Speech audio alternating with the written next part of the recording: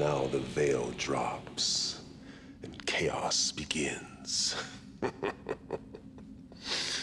Violence and wonderful descents into madness. Each will be different, you know, following their own unique darkness, the parts of them they try so hard to control and lock away.